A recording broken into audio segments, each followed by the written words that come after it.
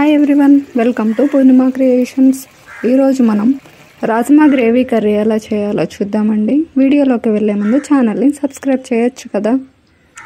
Curry కోసం రాజ్మా గింజల్ని మనం చేసుకోవాలి అనుకున్నప్పుడు ముందు రోజు నైట్ నానబెట్టుకుంటే సరిపోతుందండి.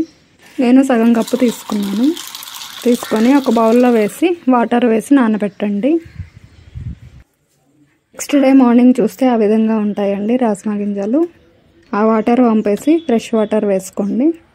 అలాగే ఒకటిన్నర బంగాళదుంపలు తీసుకున్నానండి నేను. ఇప్పుడు స్టవ్ ఆన్ చేసి స్టవ్ మీద పెట్టండి. ఇది ఉడకటానికి నలభై నిమిషాల పైనే పడుతుందండి.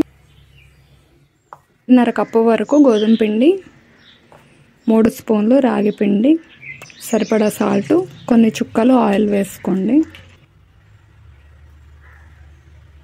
ఇప్పుడు కొద్ది కొద్దిగా వాటర్ వేసుకొని కలుపుకోండి గోధుమ పిండిని.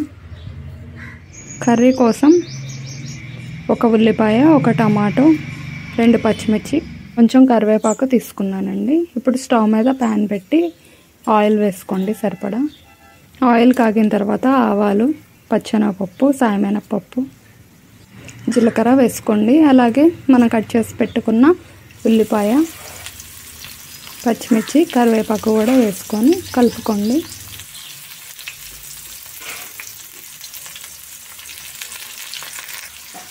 ఇప్పుడు చిటికెడు పసుపు వేసుకోండి.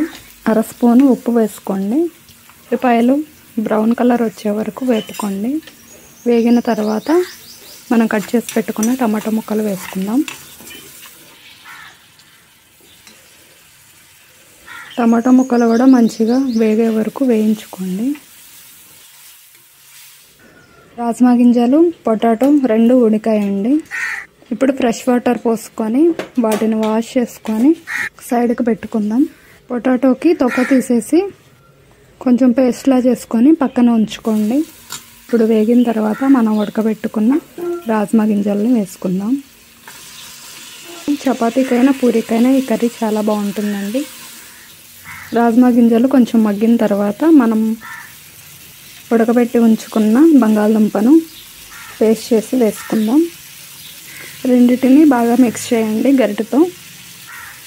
ఇప్పుడు ఆ కర్రీ మగ్గటం కోసం కొద్దిగా వాటర్ వేసుకోండి. రాజ్మా కర్రీ అనేది హెల్త్కి కూడా చాలా మంచిదండి. ఎప్పుడు చేసుకునే కర్రీస్ కాకుండా ఇలా కొత్తగా ట్రై చేయండి. చాలా బాగుంటుంది. కర్రీ మగ్గిందండి. ఇప్పుడు ఒక స్పూన్ వరకు కారం వేసుకుంటున్నాను. మీరు రుచికి సరిపడా వేసుకోండి. మీకు గ్రేవీ ఎక్కువ కావాలంటే కొంచెం ఎక్కువ వాటర్ వేసుకుంటే సరిపోతుందండి. నేను అలానే వేసుకున్నాను. కర్రీ అయితే ప్రిపేర్ అయిపోయిందండి చూడండి. ఆయిల్ సపరేట్ అయ్యింది. ఇప్పుడు మనం స్టవ్ ఆఫ్ చేసుకొని ఇప్పుడు చపాతీ ఉండని తీసుకొని చపాతీ చేసుకుందాం. స్టవ్ మీద ప్యాన్ పెట్టి చపాతీ కాల్చుకుందామండి. కొద్ది కొద్దిగా ఆయిల్ వేసుకుంటూ చపాతీని కాల్చుకోండి రెండు వైపులా. అలా మనం చేసుకున్న చపాతీలన్నీ కాల్చుకొని ఒక సైడ్కి పెట్టుకోండి. చపాతీలోకి రాజ్మా కర్రీ ప్రిపేర్ అయిపోయిందండి. టేస్ట్ అయితే చాలా బాగుంటుంది. ట్రై చేయండి. వీడియో నచ్చితే లైక్ చేయండి షేర్ చేయండి. అలానే నెక్స్ట్ వీడియోస్ కోసం మా ఛానల్ సబ్స్క్రైబ్ చేయండి. Thanks for watching